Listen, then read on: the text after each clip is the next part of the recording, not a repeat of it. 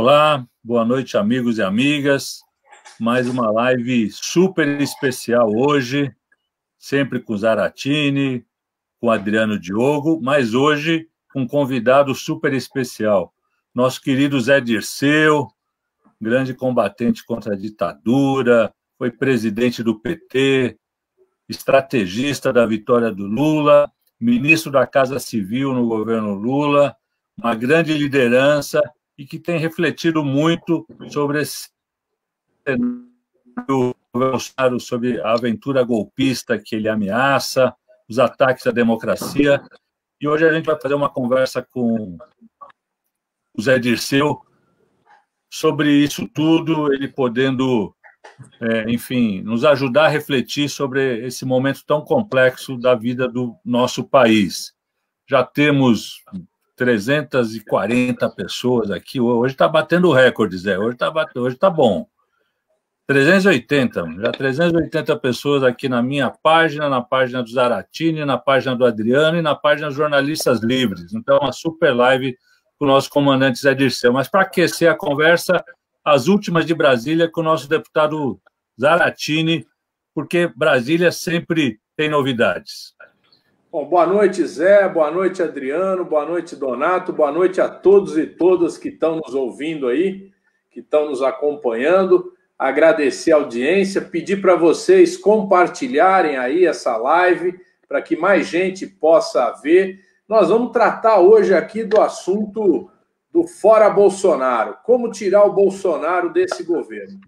Né? Nós, eh, todo mundo viu aí, o Brasil inteiro viu a gravação da reunião, né? É, aquela reunião, Donato, para mim foi uma reunião de enquadramento, né? Ele, o objetivo dele ali não era falar de coronavírus, não era falar de crise econômica, era enquadrar os ministros para que todos defendessem o governo dele do impeachment. Ele chega a falar isso várias vezes na reunião. E ele a partir daquela reunião que foi no dia 20 de abril, né, vamos lembrar disso, foi no dia 20 de abril, ele começa uma operação, ele demite o Moro, né, ele, ele convoca, inicia vários atos né, públicos na frente do, do, do comando do Exército, conhecido como Forte Apache, lá em Brasília, depois na frente do Palácio do Planalto, vários atos públicos para mobilizar aquele grupinho que apoia ele, aquele grupo incondicional de bolsonaristas, né? E mobiliza também a sua turma das milícias digitais, além das milícias normais, né, as milícias bang bang, as milícias digitais.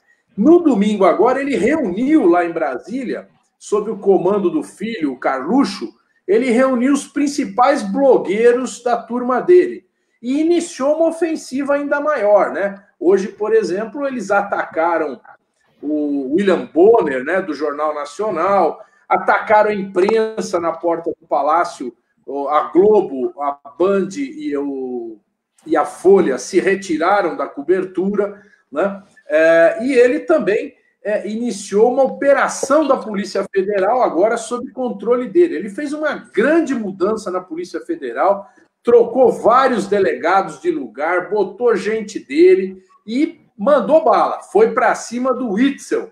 O Witzel é o governador do Rio de Janeiro, né, que é o inimigo dele declarado. Ele, na verdade, ele quebrou o palco Witzel, né? O Witzel, não sei qual exatamente o motivo, mas foi uma divergência enorme e agora ele ataca o Witzel com a Polícia Federal. É, se tem ou não tem indícios lá, isso nós vamos saber mais para frente, né? Eles dizem que tem, sempre tem. Mas o fato é que ele foi para cima do governador do Rio.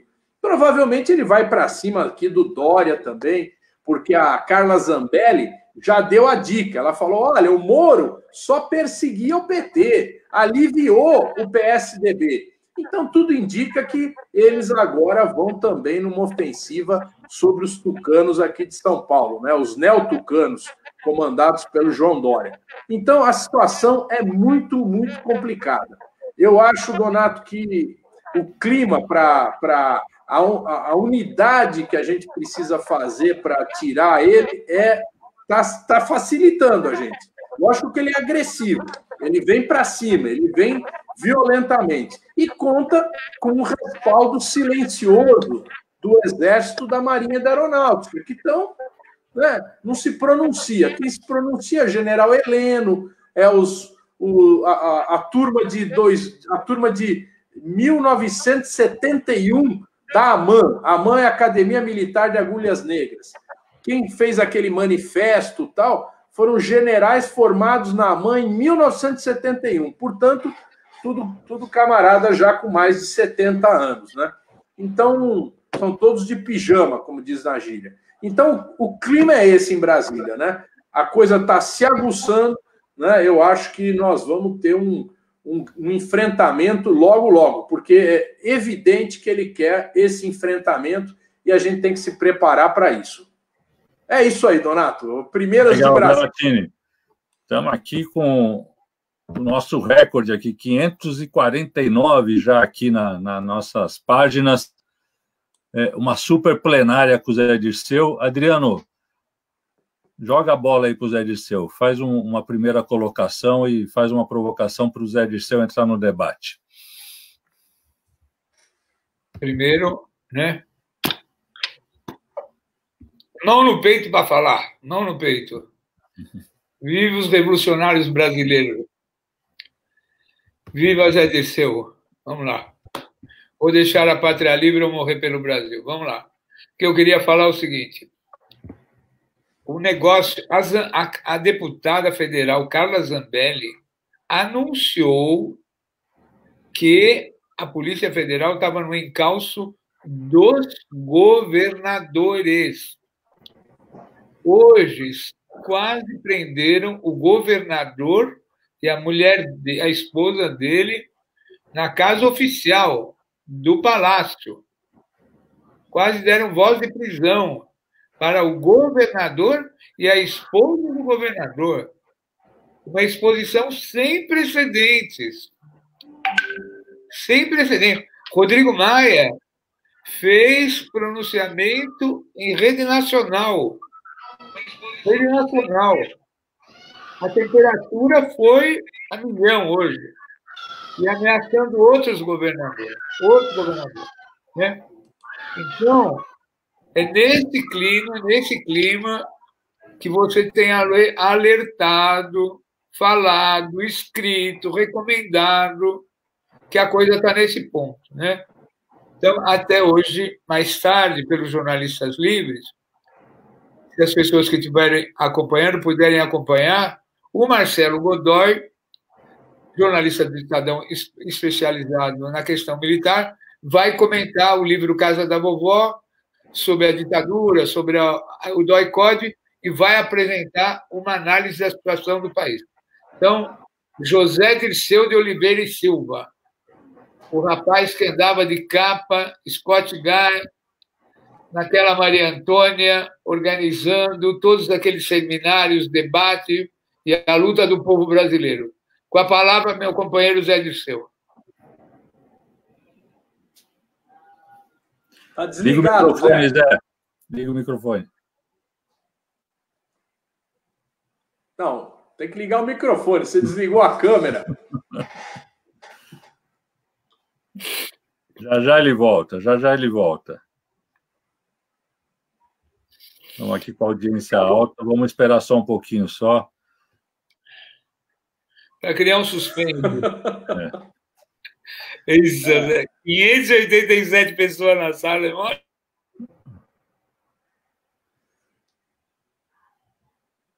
Vamos lá. Bom, Zaratini, essa operação contra o, o Itzel aí foi, foi bastante grave, como disse o, o Adriano, né? Foi muito grave e, e, e impulsionou aí o, o nosso presidente da Câmara, o Rodrigo Maia, a fazer uma manifestação, né? Ele chegou, como disse o Adriano aí, ele fez um pronunciamento na abertura dos trabalhos hoje, né? Colocando a necessidade de unir a nação contra o coronavírus em defesa do povo brasileiro e repudiou esse tipo de ação que o Bolsonaro adora fazer, que é essa, essas provocações, esse clima belicista, né? Que está levando o país para o buraco, né? Nós estamos num, numa situação que é completamente de anarquia, né? O país está derretendo do ponto de vista é, do, do, da economia, está derretendo do ponto de vista do combate ao coronavírus, porque o coronavírus agora está indo para o interior, né, para o interior do, do Brasil, não só daqui do estado de São Paulo, mas para cidades do interior de todos os estados. Então, o que, que a gente vê lá? A gente vê cidades que não têm nenhuma infraestrutura de saúde, que não tem absolutamente nenhuma situação assim de, de, de, condição de ter UTI, de ter hospital de retaguarda, de ter hospital de campanha, nada disso. Essas cidades estão começando a ter pessoas que são infectadas, né? E essas infecções acabam fazendo com que é, é, é, aquele sisteminha de saúde que tem lá fique completamente abarrotado. Então, a, a, o, o Rodrigo Maia fez essa fala hoje, né? E, e, a gente tem conversado muito com ele, né? Falado, não, nós precisamos ter uma reação mais forte, né? Nós não podemos também só ficar né, nessa, nessa situação. A gente precisa constituir uma, uma amplitude política aqui de pessoas que eleitoralmente nunca vão estar juntas, mas que querem a democracia no país. Porque o que ficou evidente, Donato, naquela, naquela reunião uh, do dia 20 de abril, foi que o, o objetivo principal do, ali do Bolsonaro, né, ele, que ele falou, ele falou: vamos armar o povo. Armar o povo não é dar arma para as milícias operárias, para as brigadas vermelhas, não. Armar o povo é dar arma para as milícias dele, né? É o pessoal dos clubes de tiro poder se armar à vontade, é o pessoal que está em todas as, essas confusões aí paramilitares da polícia, das polícias militares do Brasil inteiro. Então ele está trabalhando isso. Né? Ele obrigou um general do exército que tinha ido para a reserva a assinar uma portaria aumentando o número de a quantidade de munição que poderia ser vendida para cada arma. Então cada cada pistola, cada arma pode, poderia comprar um X de munição. Ele multiplicou por três esse X. Né? Então, uma coisa assim muito, muito complicada, muito complicada. Né? Então é isso. Adriano, vê aí, cadê o Zé Dirceu? O pessoal está fazendo contato lá com o Zé Dirceu.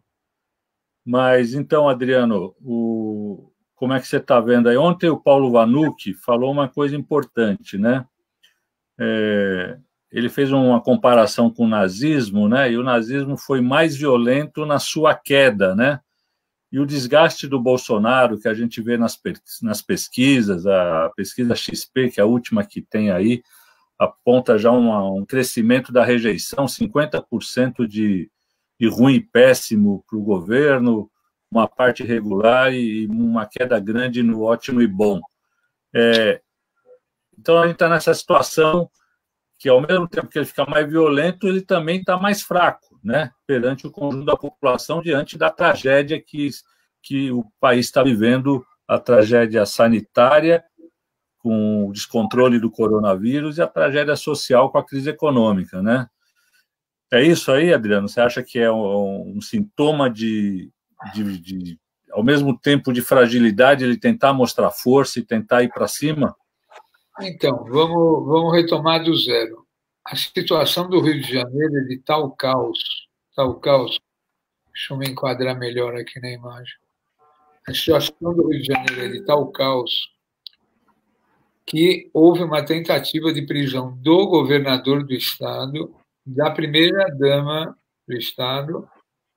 O secretariado está todo reunido no Rio de Janeiro uma atenção muito grande para o governador é, reafirmando a sua posição. A deputada Carla Zambelli anunciou que a Polícia Federal ia para cima dos governadores. O Bolsonaro, da presidência da República, comemorou a ação da Polícia Federal prevista já no dia anterior, prevista no dia anterior, e todos os, os grandes meios de comunicação, Globo, Folha de São Paulo, a, todos os sócios das empresas que disputaram contratos de hospitais de campanha também foram alvo da Polícia Federal. É como se o Estado do Rio de Janeiro estivesse sob intervenção federal, da Polícia Federal. A situação é da maior gravidade. Isso levou ao Zé Disseu entrando. Bom, só estou fazendo uma, uma, uma Desculpe. para você. Eu tive, eu tive que desligar o celular e ligar de novo, porque travou e não adiantava copiar nada que o Giga me orientou. Peço perdão a todos e todas. Ah, vamos lá, então, Zé Dirceu. Zé Dirceu, pronto. Zé Dirceu. 480 lá, esperando Foi só você. um suspense para aumentar a audiência aqui. Vamos lá, Zé. Veja bem, o, o Zaratini, o Donato e o Adriano já colocaram um pouco o quadro que nós vivemos. Veja bem, o que o Bolsonaro está fazendo vai se voltar contra ele. Porque se pode fazer busca de apreensão no Palácio da Laranjeira, pode no Palácio da Alvorada.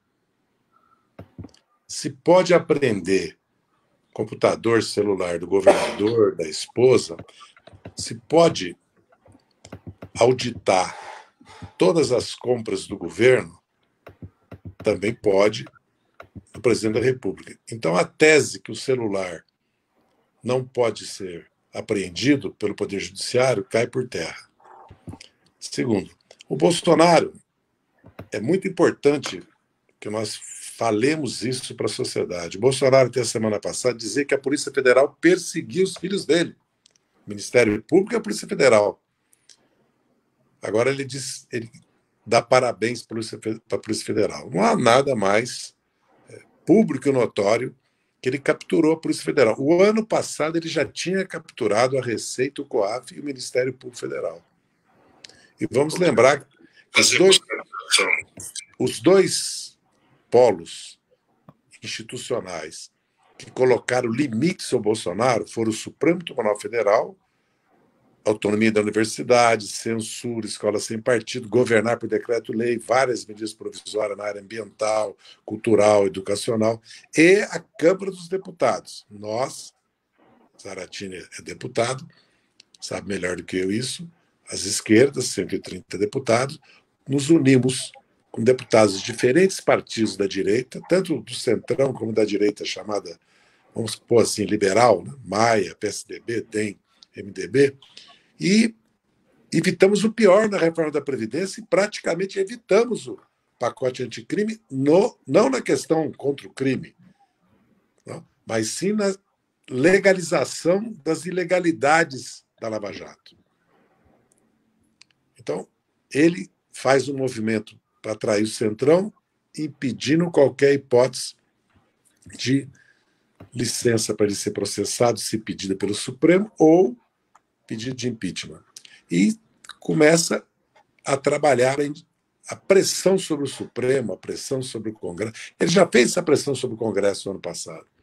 Jogar uma parcela da sociedade, as bases milicianas dele, e os setores conservadores da sociedade, neopentecostais, a base eleitoral que ele tem, ainda tem 20%, 25%. Porque a exploração da corrupção como tema político, que foi usado exaustivamente na história do Brasil, Getúlio era o mar de lama embaixo do Palácio do Catete. Juscelino era o mais rico do Brasil. Jânio ia acabar com a corrupção. Veja bem hoje, olhando o passado. Parece até piada. Ele e o Collor acabaram com a corrupção. E a ditadura, o golpe foi contra a corrupção e a subversão. E a Lava Jato retomou esse tema e agora os bolsonaristas dizem que o, o Moro perseguia o PT e deixava na impunidade os outros partidos, inclusive o PSDB. E mais, o Moro acusa o Bolsonaro de não combater a corrupção. E o Bolsonaro captura as instituições, não só porque ele tem a concepção de poder, que ele nunca.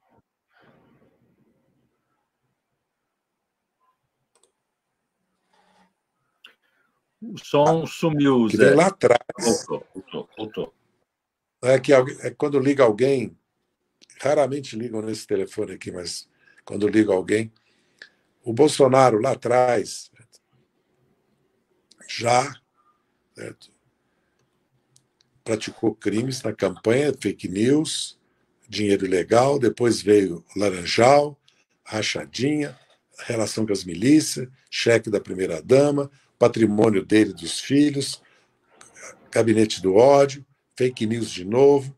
Então, o crime de responsabilidade se impõe com o comportamento dele frente à, à pandemia, que é um genocida de sabotagem, nós não temos outra alternativa. É um imperativo moral e uma responsabilidade política. Porque nós somos alternativa de governo. Nós governamos esse país quatro vezes.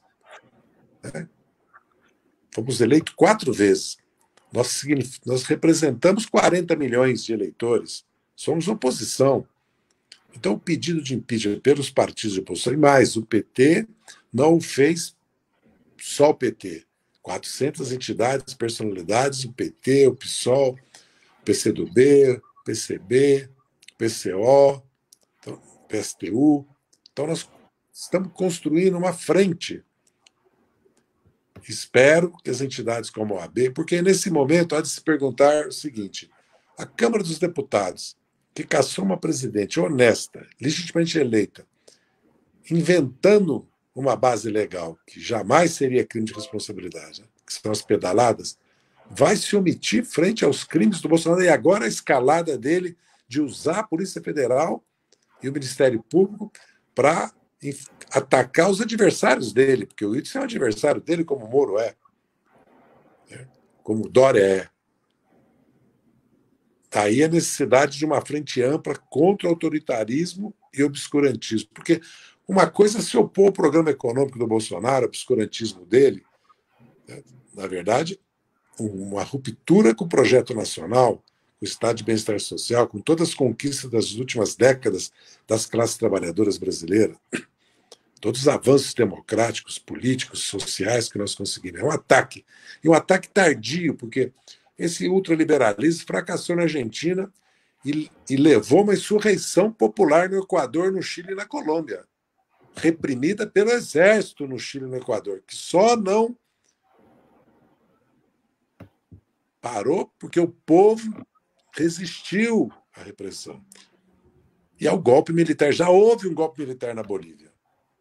A PM executou, o Exército pediu a renúncia. O Bolsonaro já é um governo militar, lógico, um governo que defende os interesses do grande capital. Né? Nós sabemos os interesses que o Bolsonaro representa. Essa agenda já vinha da Ponte do Futuro com o Temer e se agravou com o obscurantismo, com o autoritarismo. Mas é um governo militar. O Palácio do Planalto, a presidência, nove ministérios estatais, autarquia, cada dia mais. Esses dias, o Instituto Chico Mendes, PMs da reserva e bombeiros da reserva. E a ocupação do Lerite, fora a reforma da Previdência dos militares, que os transformou numa casta. Quase, até o Fernando Henrique fez um comentário sobre isso. Né? Quase dobrar o salário. E vão chegando e vão tomando conta do aparelho do Estado, que é a presidência da República, e o adversário é a Câmara dos Deputados, é o Congresso porque a soberania popular é o judiciário. Eu pergunto, vocês se lembram do entusiasmo, do ativismo no julgamento da ação popular de vários ministros? Né? Onde está esse ativismo, com, com exceções? Não que o Supremo não tenha cumprido seu papel de pôr limites ao Bolsonaro, e a Câmara também. Então, nós estamos vivendo um momento de empate. O Bolsonaro está se defendendo, porque ele sabe que pode sofrer impeachment porque cometeu crime de responsabilidade. Ele se defende da investigação. Porque as investigações sobre os filhos do Bolsonaro, a família sobre ele não avançam. Essa do Witzel já está em busca e apreensão, quase em prisão, segundo o relato do, que o Adriano fez agora há pouco. Então, como ele tem ainda uma base popular e há tutela militar evidente, e há, do outro lado, nós como alternativa, a elite brasileira, que sabe que não é possível continuar com o Bolsonaro porque ele vai levar o país a uma tragédia nacional, e sabe do obscurantismo dele, inclusive de um problema social, cultural que nós estamos enfrentando, que é uma base nas, nas classes trabalhadoras, majoritariamente neopentecostal, que tem uma concepção de vida, um modo de vida legítimo, que nós não podemos não devemos criticar, nem que eles têm, eles têm o direito de fazer política, que se choca com a Globo, é só olhar a novela da Record da Globo, você vê dois mundos, dois modos de viver, dois modos de entender a vida. E uma que oscila muito para um povo só, né? um líder. Esse é o problema. Que é, no fundo, o fascismo, o nazismo. A mistura da religião com o Estado. Né? Quase um Estado teocrático. Então, nós estamos enfrentando uma conjuntura que, com a pandemia, com o desemprego, né? com a situação de derrotas que nós vimos sofrendo, então, nós sofremos derrota em 13, em 15, em 16 na eleição, impeachment. Em 18, uma derrota, mas nós tivemos uma votação excepcional, extraordinária. E somos uma alternativa de governo e temos projeto para o país. Então, essa oposição liberal de direita quer preservar o quê? Aí está a contradição principal. O programa econômico do Guedes, os privilégios dela, seus interesses de classe, porque não há país com maior concentração de renda que o Brasil e de terra, agravada pela estrutura tributária e pela política de juro. Hoje mesmo o Guedes falou que tem que baixar a Selic, vai economizar 120 bilhões, porque nós continuamos pagando um juro absurdo para dois terços da dívida pública que não está em Selic. Nenhum país do mundo paga o juro da dívida pública devia ser zero, como o juro para empréstimo devia ser zero para o pequeno microempresário, e principalmente o juro para aqueles que estão mantendo a economia funcionando. E principalmente tem que emitir dinheiro, como o Lula tem dito, para sustentar a renda de milhões, dezenas de milhões de brasileiros. A sabotagem do Bolsonaro também é no, no retardamento, no atraso em tomar medidas em dar apoio para o micro, para o pequeno, para o empreendedor, para o micro, para o pequeno empresário, em, em dar um apoio para aqueles que não têm renda hoje, ou não têm trabalho, ou são informais, autônomos, ou trabalham com aplicativos, que é a imensa maioria dos brasileiros. Como eles querem preservar esses interesses, eles temem tirar o Bolsonaro, porque temem que o Mourão e o núcleo militar eles estão com o fantasma do gás por causa do pró-Brasil. E a, e a questão do pró-Brasil é uma questão singela, simples. O Brasil tem dezenas de obras de grande retorno e obras que têm eficiência na economia, porque elas têm um efeito propagador em vários setores da economia, de saneamento, de habitação e de infraestrutura, que com 100 bilhões, o que é 100 bilhões se o governo está se endividando e emitindo meio trilhão. Foi isso que o Rogério Marinho falou. Porque o que o Guedes fez com o núcleo militar foi uma humilhação naquela reunião. Mas o Rogério Marinho respondeu: ah, mas se são 500 bilhões, o que, que os 30 bilhões que eu estou pedindo para fazer parcerias público-privadas? Então, isso traz uma outra discussão para nós, que é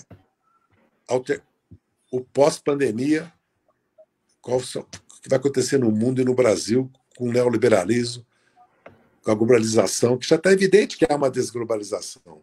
Em primeiro lugar, porque os Estados Unidos já está fazendo. Segundo, porque tem outros poderes no mundo hoje. Nós estamos vendo a Turquia, o Irã, a China, a Índia, a Rússia, a Inglaterra sair, a Alemanha não querendo, porque a Alemanha está levando a União Europeia à autodissolução, porque ela não quer assumir, agora sob pressão da França, assumir um pacote de 500 bilhões. Ela não quer assumir o papel de emitir para que os países enfrentem a pandemia sem se transformar em dívida. Porque o problema da dívida pública não é ser 130%, 150% do PIB ou 100%, é o juro. O único país que paga juro de dívida pública é o Brasil. O juro negativo no mundo. Existe um problema grave no Brasil, que é o 1% que tem quase 20% da renda nacional, os 10% que tem 50%, e a concentração de riqueza e renda e da propriedade, principalmente da terra. Olha a situação das grandes cidades. É a especulação urbana, é o problema da terra que levou a toda essa situação de desamparo da imensa maioria da áreas de risco, sem saneamento, insalubre, superlotada, cortiços, residências que não podem mais continuar a existir, transporte de duas, três horas, péssimo transporte. Então, nós estamos vivendo um momento que nós, da esquerda, nós socialistas, em primeiro lugar, temos que criar uma frente contra o Bolsonaro, com todas as forças políticas sociais. E Zé, temos. Sim. Ô Zé, deixa eu só interromper um pouco aí, para a gente bater uma bola aqui, para dar uma dinâmica, né? Você, bom, tem vários. Naratini travou na hora de bater a bola aí. Mas deixa, deixa eu aproveitar então, Zé. Tem duas, é, dois comentários, tem centenas de comentários aqui, mas eu vou pegar dois mais simbólicos. Você voltou, Zaratini? Voltei. Hoje está terrível aqui, mas vamos lá. Tem duas. É, é, o Barroso já disse que vai colocar na pauta aqueles processos que questionam a eleição Bolsonaro. Sim. Né? Sim. O, o Alexandre Moraes pediu é, para o Ventralb explicar quem é os vagabundos do STF que ele quer prender. Né? O, o Celso de Mello questionou agora a, a Zambelli, a Carla Zambelli, quem, como é que ela teve informação. Então, vamos dizer assim, do ponto de vista do STF, me parece que eles agora resolveram comprar uma briga. Me parece, né? Uh, do ponto de vista da Câmara, que é onde se inicia o processo de impeachment, ainda nós estamos com um problema, porque o Rodrigo Maia ele não tem segurança de ter uma maioria de votos para sustentar o processo de impeachment. Então, ele fala: bom, como é que vai se compor esse centrão, né? Esse centrão, como é que vai decantar? Até o próprio PSDB, que entrou na, na linha do, de oposição, não da nossa oposição, pelos motivos que nós somos oposição. Eles têm outros motivos para ser oposição. Mas, de fato, eles estão entrando numa linha de oposição ao governo. Mas até onde eles vão? Eles vão até o, até o processo de impeachment? Eles vão jogar pesado? Então, eu queria saber a tua opinião nesse jogo das forças políticas dentro do Congresso. O que, que você acha que vai é, acontecer aí nessa situação? Será que, de fato, esse setor da elite nacional, que está o PSDB, está uma parte grande do DEM, o Cidadania, a Globo, né, a Folha de São Paulo, será que esses caras vão, de fato, correr o risco de enfrentar o Bolsonaro para derrotá-lo, ou eventualmente para ser derrotados, né? Eles vão ser obrigados. O Bolsonaro vai fazer com eles o que está fazendo com o Witzel e com o Dória. O Bolsonaro quer o poder. E o Supremo está se autodefendendo. O Supremo está realmente, você tem toda a razão, o Supremo está. Vários procedimentos estão sendo adotados no Supremo dentro de investigações que podem se transformar em processos e está respondendo à altura o Bolsonaro. Mas por que o Bolsonaro está mobilizando a sua base para fechar o Supremo e para fechar o Congresso. Vejam bem, não precisa dar golpe de Estado, não precisa pôr tropa na rua, não precisa participação das Forças Armadas. Se ele constitui uma maioria no Congresso, ou se não há uma reação à altura da sociedade, porque nós temos dois caminhos: a justiça processá-lo, e há várias investigações, tanto o TSE tem como o Supremo, e o Congresso iniciar o processo de impeachment. Ele está adotando todas as medidas para impedi-lo, seja com o Centrão, seja com o aparelhamento da Polícia Federal, dos órgãos de controle e fiscalização, né, como COAF, Receita, e o próprio órgão que é o fiscal da lei, é o acusador, que investiga depois que o Supremo autorizou em 16, porque a Constituinte e a Constituição não, per, não permite que o Ministério Público investigue. Isso foi uma decisão que o Supremo tomou ele está, ele está se defendendo, por isso que eu falo, há um empate. Como não há mobilização popular, apesar das pesquisas, agora, as pesquisas estão indicando que vai abrir a boca do jacaré. A rejeição a ele, a reprovação está aumentando e está caindo o apoio a ele. e o ótimo, e o ótimo bom do governo dele mais. Na juventude já está mais de dois terços, nas mulheres está chegando a 60%. E a população de baixa escolaridade, baixa renda, apoia o isolamento, que ela não tem condições de praticar o isolamento, porque o governo não dá, apesar do esforço dos governos municipais, dos prefeitos e governadores. Então, eu acredito que nosso papel né, é buscar as outras forças políticas e sociais e questioná-las publicamente. Por que, que elas não querem impeachment? O que, que elas querem? Elas estão esperando o quê?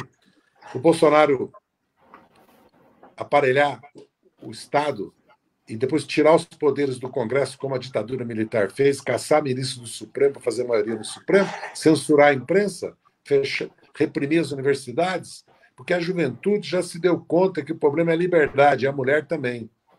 Como o Bolsonaro assume um fundamentalismo religioso, um obscurantismo, e ataca as liberdades políticas e civis, ataca a universidade, a ciência, nega, é negacionista com relação ao clima, com relação à ciência, e ataca a cultura, e ataca o meio ambiente, as classes médias cosmopolitas ou progressistas, né?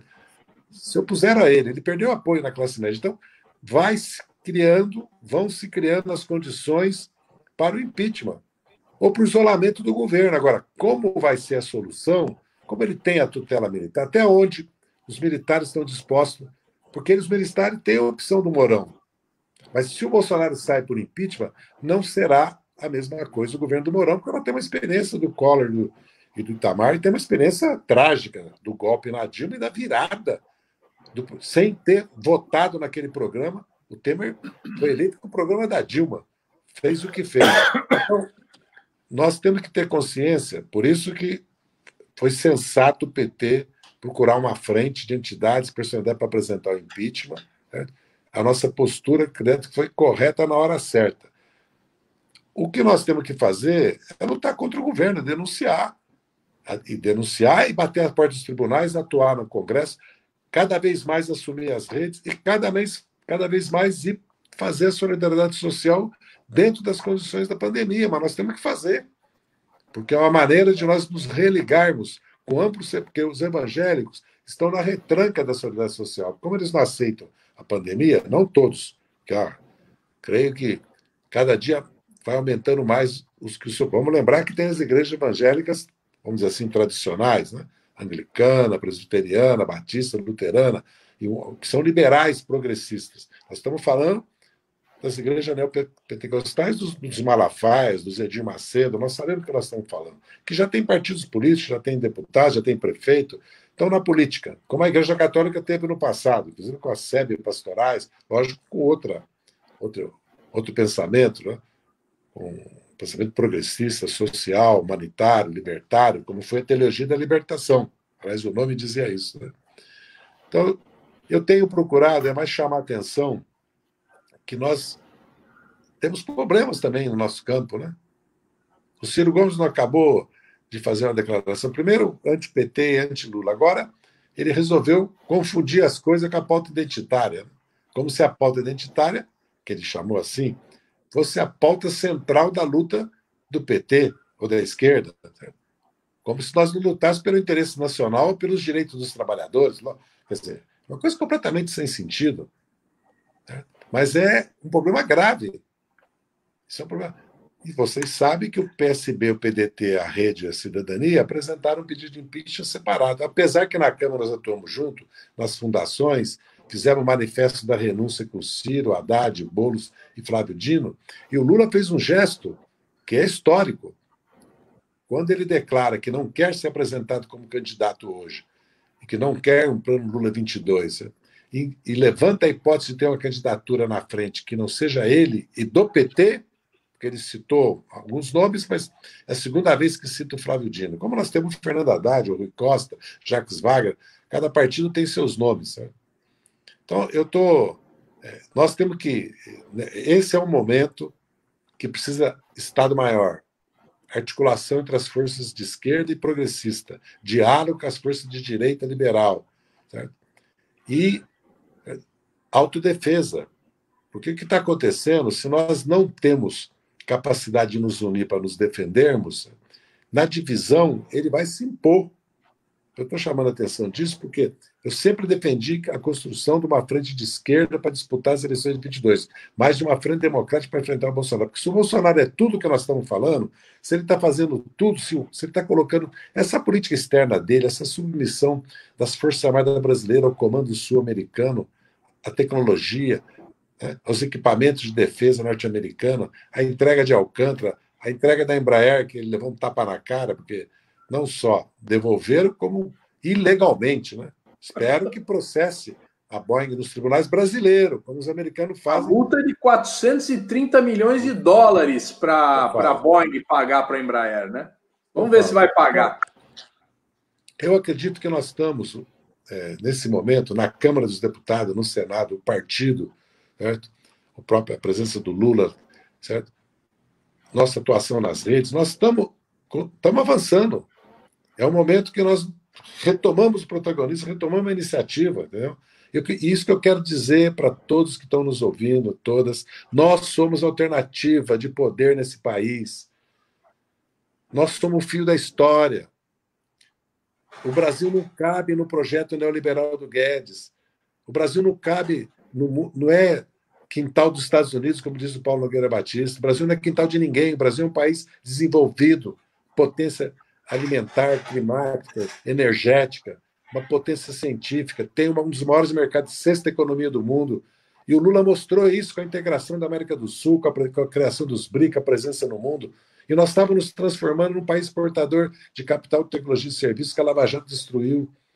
E os bancos públicos são, como a China prova, e as estatais, e o mercado interno, e a revolução científica e educacional, as bases para o Brasil retomar o crescimento. Mas, se não distribuir renda e riqueza, nós não vamos conseguir. Então, nós temos que começar a falar isso para a sociedade. O Brasil precisa de uma revolução social. A revolução inacabada brasileira da independência, a agrária, a antiimperialista, a nacional, a social, todas elas são inacabadas, como dizia o Florestan Fernandes. E nós temos que retomar isso.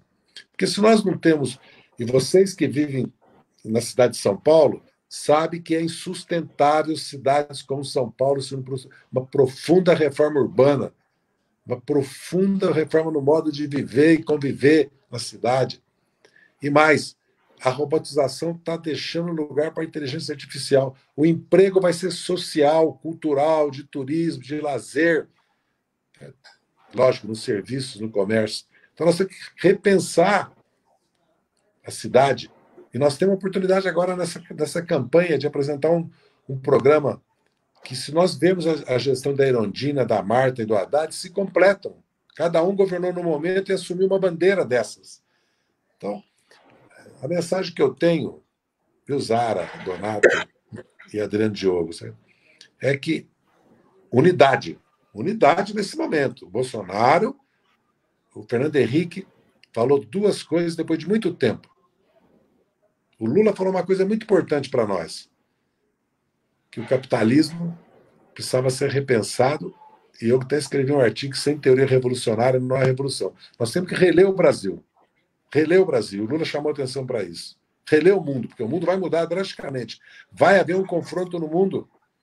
Vai haver um choque de interesses para como sair da pandemia, o que fazer com o capital financeiro, aumento da concentração, da pobreza, subconsumo, estagnação econômica a desglobalização, a emergência da China. É lógico que vai haver, como houve depois da Segunda Guerra Mundial. E eles passaram ao largo em 2008 e 2009, na crise, passaram ao largo em 11, mas não vão passar agora, quando acabar essa pandemia, porque os problemas estão. A, a, a de pressão está tá para estourar. E é duas coisas que o Fernando Henrique fala: que o Fernando Henrique, hein, que não quer confronto, não quer enfrentar ou, ou Bolsonaro renuncia vai ser renunciado. Ele falou: os militares vão chegando, vão gostando e vão ficando. A realidade é essa. Se nós não tomarmos as rédeas da luta pelo impeachment, do fora Bolsonaro, e as rédeas da unidade das forças democráticas de esquerda, socialistas, para enfrentar o Bolsonaro, eles ficam. Eles destroem o Brasil.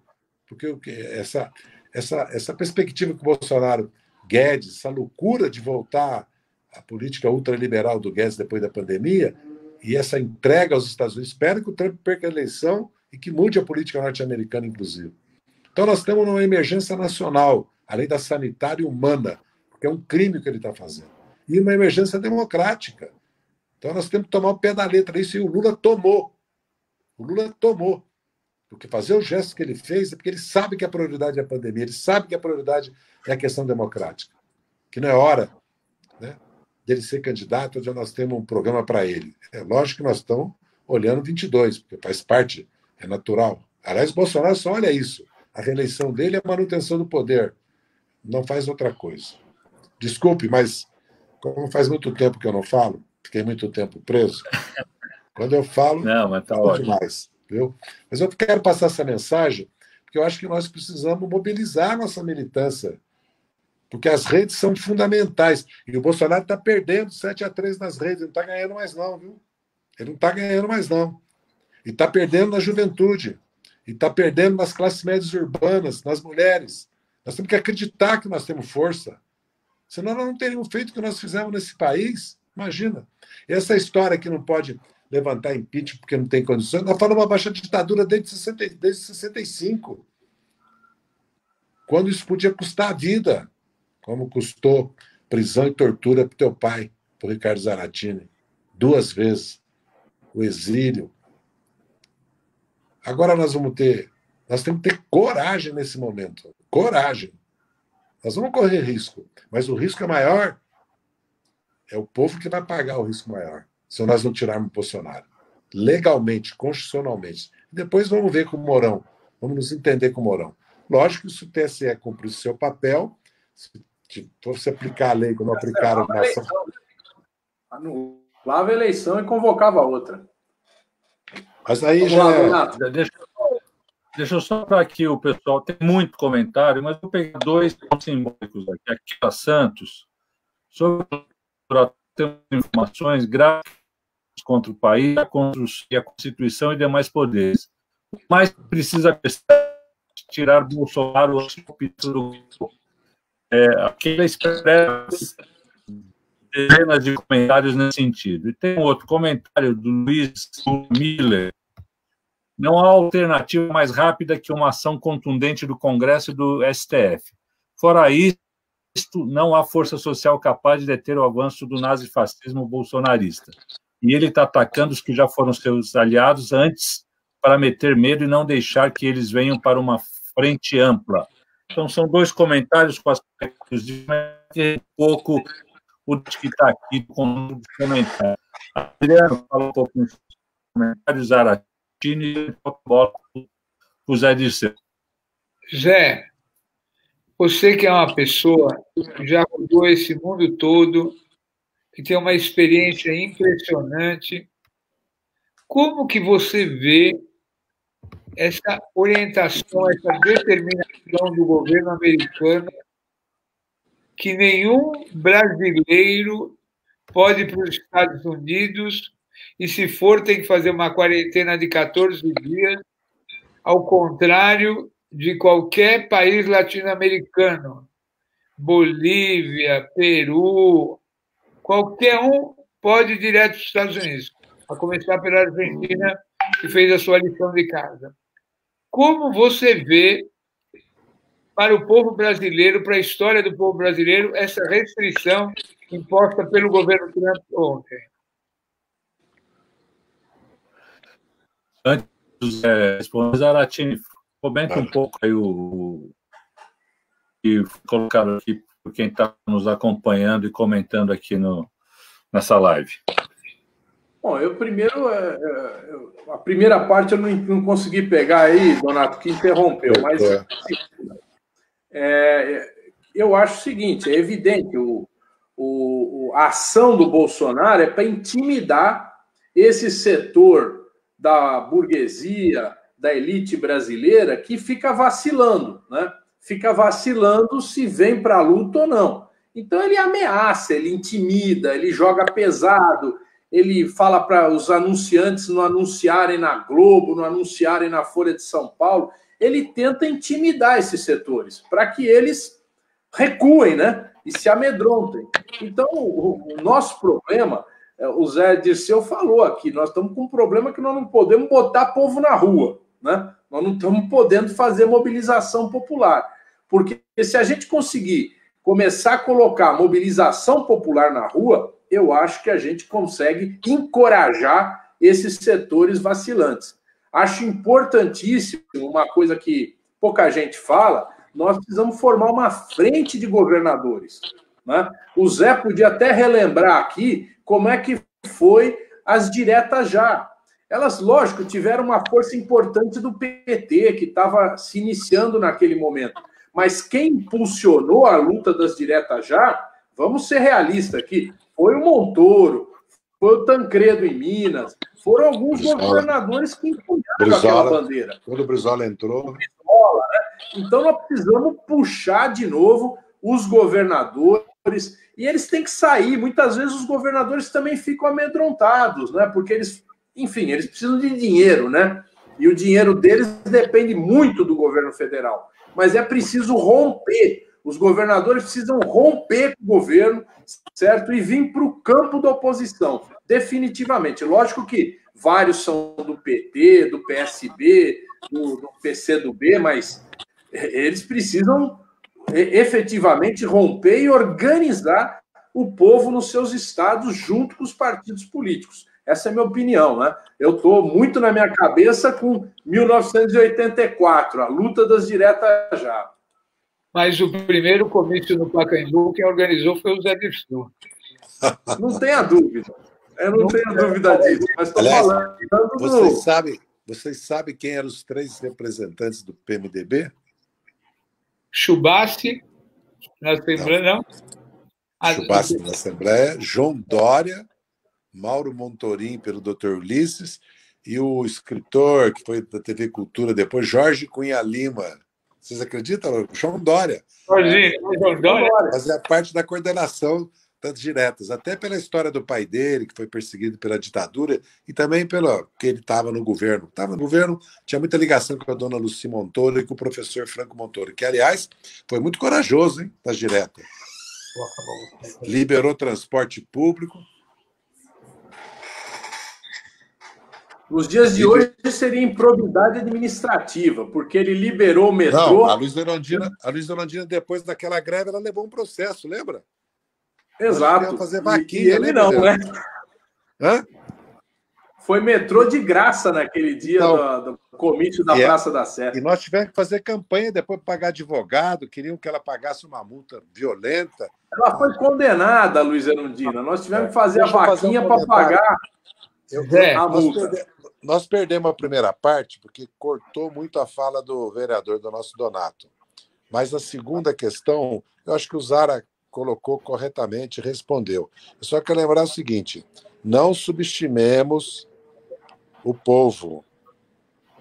Houve, o povo derrotou a ditadura em 66 em Minas e no Rio nas eleições. Por isso que eles acabaram com a eleição direta para presidente, governador, prefeito de capital, área de segurança e fecharam, extinguiram os partidos e tiraram os poderes do parlamento, iniciativa em matéria financeira e orçamentária. Tiraram a autonomia do parlamento. O povo foi para as ruas de 65 a 69. Estudante, classe média, depois as greves operárias. E surgiram as ações armadas. Veio as cinco. Quatro anos de terror, de repressão. Em 74, o povo foi nas urnas e derrotou a Arena. De 21 senadores, o MDB elegeu 16. Não subestimemos o povo. Não subestimemos. E nós sabemos o que foi depois a luta, né? até chegar em 2002. Então, a classe trabalhadora brasileira tem energias, tem história, tem memória. Senão não teria dado 45 milhões de votos para o Haddad e nem os votos que ele teve no primeiro turno, depois de tudo que fizeram com o PT. Então, esse é o primeiro. Lógico que nós temos que ser protagonista, tomar iniciativa, denunciar, lutar, porque vocês veem que todo o grande empresariado está na Globo fazendo doações, apoiando o isolamento horizontal, apoiando a política dos governadores, dos prefeitos, não do Bolsonaro. Multinacionais, bancos, telefonia, telecomunicações, indústria automobilística, petroquímica, equipamentos pesados. E se vocês vão olhar as pesquisas, que eu já me referi a elas, baixa escolaridade, baixa renda, mais de 70% a favor do isolamento, que não tem condições, é diferente. Em várias capitais do Brasil, em várias regiões. Então, nós temos também que ter um olhar um pouco histórico, um pouco das pesquisas, da rejeição e do isolamento cada vez maior do Bolsonaro. Porque o Bolsonaro está ele está numa teia de aranha, como diz o jornalista amigo meu. Já enredaram ele numa teia de aranha.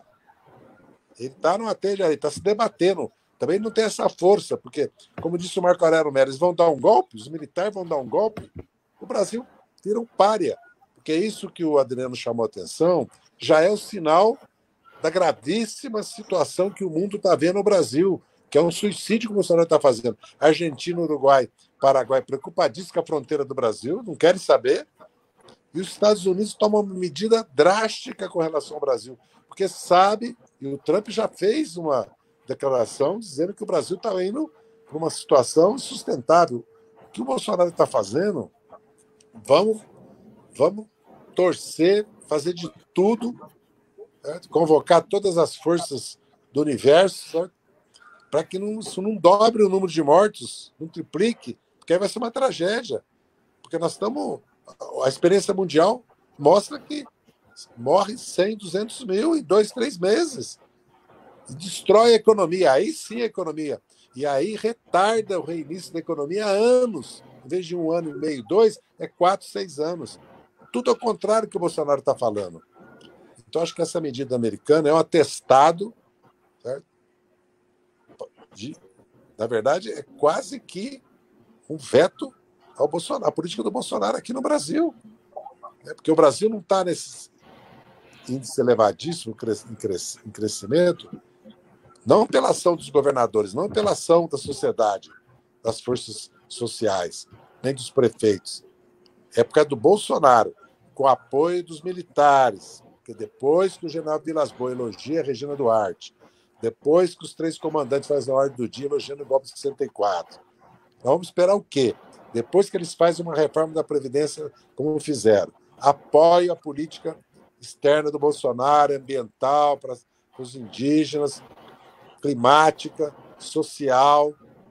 Eles estavam se lixando para o povo na reforma da Previdência, se lixando para os oficiais, cabos, sargentos, não foi isso, Saratina? Queria Exatamente. saber é do aumento de 45%, de aposentar sem limite de idade, paridade, integralidade, ajuda de custo, verba de representação, inventaram. E ainda aumentaram o salário. 45% já tinham tirado 23% do Temer. Então, nós, e só emprego agora, só Lerite. Só Lerite. São milhares assumindo cargos no Estado. Então, eu acredito que a sociedade não aceitará o Bolsonaro. Ele vai ser reprovado. E o povo vai apoiar o impeachment dele. Essa é a minha avaliação. Lógico que eu posso Pode demorar um mês, três meses, porque ele não tem caído também por impeachment, porque os militares evitam, muitas vezes que ele faça coisas que podem notar isso. Eles atuam como uma força de contenção, né, porque o Bolsonaro é, é impetuoso, voluntarista, escorpião, vamos dizer assim, né? Muitas vezes ele quer fazer coisas que, evidentemente, se ele fizer, fica insustentável, né? a posição dele perante o Supremo Tribunal Federal e a Câmara dos Deputados. Nós todos conhecemos o Centrão. O mesmo Centrão é cavalo de Troia, que está apoiando o Bolsonaro. Esse ataque aos governadores já vai dividir o Centrão, viu, Zaratino? Eu vai também dividir. acho. Vai dividir o Centrão. Acho. Porque eles são ligados aos governadores. Eles têm dar conta do eleitorado dele nos estados. Entendeu? Então, eu acho que o quadro é grave, mas tem uma, tem uma luz tem uma avenida para percorrer. Essa é a minha avaliação. Eu já estou. Eu já tenho que fazer uma live agora com Diadema. Vocês sabem que Diadema me deu 25 mil votos em 2002? Quando eu era candidato a deputado federal. Vamos ver tá se nós certo. governamos Diadema Zé, de novo. Obrigado aí. Eu que agradeço. Obrigado pela análise, pela injeção de ânimo.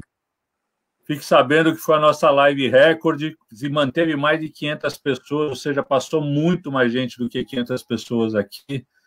É, Para nós é uma alegria e nós, ó, sintomaticamente Fala, ninguém falou de eleições, né?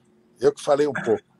Ninguém falou de eleições, porque as eleições vão ficar para 6 de dezembro, né? Tudo indica, né, Zara? É, provavelmente. provavelmente. eu acho que o primeiro turno vai ser. Porque seis não dá último... fazer segundo turno, né? Não dá para fazer, cai no Natal, né? é, teria que fazer o, pri... o, primeiro turno no último fim de semana de novembro 29, e o segundo turno no segundo fim de semana de é. dezembro. Aí dá três semanas para fazer a campanha é. do segundo turno, né? Até lá, muita água vai passar embaixo da ponte, viu? Muita água, viu? Também acho. Muito esse país. Boa noite. Tem vários Meu amigo Obrigado. Grande abraço. Adriano caiu aqui, sumiu, mas enfim. Tá Daqui a pouco um ele volta. Donato, obrigado, é. viu? Zara, um abraço. Até mais, Zé. Valeu. Pessoal, muito obrigado, Zé Dirceu. Amanhã a gente vai estar aqui com um amigo nosso que é o presidente do Sindicato dos Motoristas de Guarulhos, é isso, Zaratini? É, é nós vamos estar aqui. Um pouco da, da situação da categoria, né? Fala, Zaratini. Olha, o Brinquinho é o nosso vereador do PT lá de Guarulhos, né? Presidente do Sindicato dos Motoristas e vereador da cidade de Guarulhos. Então, ele vai estar aqui falando para nós um pouco sobre a questão dos transportes, né? Como é que os trabalhadores de transporte estão vendo essa pandemia, como eles estão trabalhando e como que está a cidade de Guarulhos. Então, evidentemente, nós vamos também comentar um pouco. E Guarulhos é uma, é uma cidade muito grande, a segunda maior cidade do estado de São Paulo, é uma potência econômica, lá tem o aeroporto de Cumbica e está sendo duramente atingida aí pela pandemia. Então vamos saber também como é que a periferia de Guarulhos está se comportando e está e tá vendo essa situação aí. Então amanhã, 18 horas, eu, Donato e o Brinquinho Brinquinho é o apelido dele porque ele usava um brinquinho assim, né? Ficou apelido. Sabe como é que é? A categoria de motorista de ônibus logo arruma um apelido pro cara, né? Não tem cara que não tem um apelido, né? Então é isso, Donato. Amanhã, 18 horas, estamos aí de novo. Legal. Obrigado, Zaratini. Um grande abraço a todos. Até amanhã, às 18 horas, aqui no Facebook do Zaratini e no meu Facebook. Até lá. Um grande abraço.